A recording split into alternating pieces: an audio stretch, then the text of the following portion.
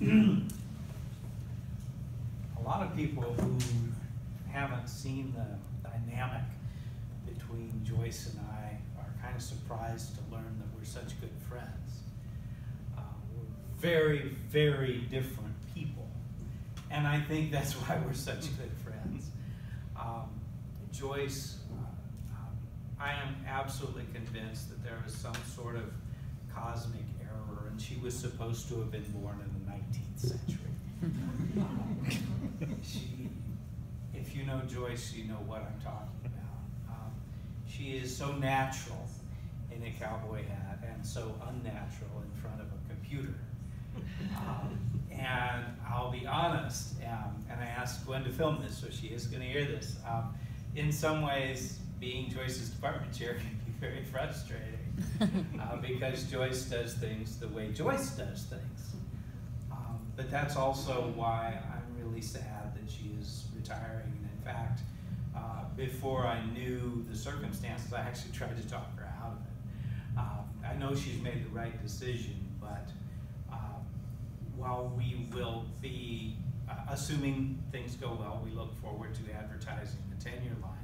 We will never be replacing Joyce because that's not possible. Um, if you don't know Joyce, or if you need a refresher, or if you just like uh, like thinking about it, uh, I'll remind you that Joyce, what she was really known for, and not just in Emporia State, throughout this region, Kansas, Nebraska, Oklahoma, all the way up to Canada and down to Texas, was her first person historical, um, her first person historical portrayals. Don't you dare call her a reenactor. I made that mistake once. once. Joyce respects the reenactor community, but that isn't what she does.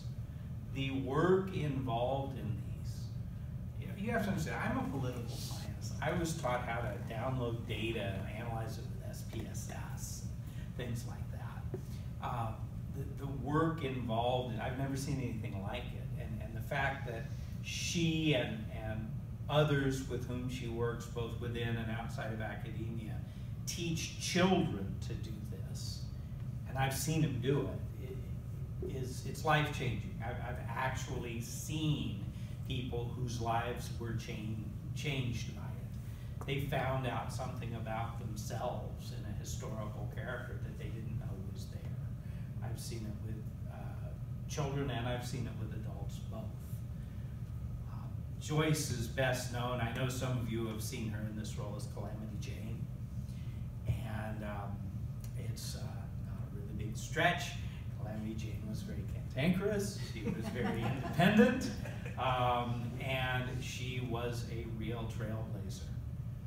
Um, but what you may not know is that that was only one of a number of different historical figures that Joyce portrays. Uh, Joyce portrays Mary Fix, a settler moving from Kansas, uh, moving to Kansas, pardon me, from Pennsylvania, um, who experienced some in her party, these would be family members, dying in a river crossing. Uh, Joyce portrays Grower Woman, a Native American, a Kansas Native American woman who experienced life in Kansas before it was settled by white people. Uh, she has a whole repertoire, folks, and she also works with a nonprofit Ride Into History with a whole team of people who expand that even more. And if you've never seen one of these, uh, you owe yourself uh, the chance. And I don't know what Joy, role Joyce will be playing, but I know she'll be there in one capacity or another because I think she has to be. I, I think it's what she lives for. Um, I, uh, I wish I weren't giving this speech. I, I really wish she wasn't retiring. Um, it's going to be very difficult to even, as I say, replacing Joyce isn't an option because there's only one Joyce. Um, although, if you biology folks, I don't know how the cloning stuff is going. that would be the only option. That, that's the only way you're ever gonna, because there's there's never going to be another Joyce otherwise. But um, may, I hope we can find someone to continue the public history tradition. Again, I'm not even a historian, I'm a political scientist. I know how to do t-tests and talk about significance levels. Um, this was all new to me. Um, and now I can't imagine our department without it. Um, and so I really believe that Joyce folks in Ride Into History, I know they are, they've actually got an event scheduled this summer. Uh, feel free to go if you're interested, it's posted on our website. Um, and and uh, Joyce will be as active as she can, given the status of her health, um, that they're going to continue contributing. And, uh, and they're going to continue being a part of this department for as long as I have anything to say about it. So, thank you.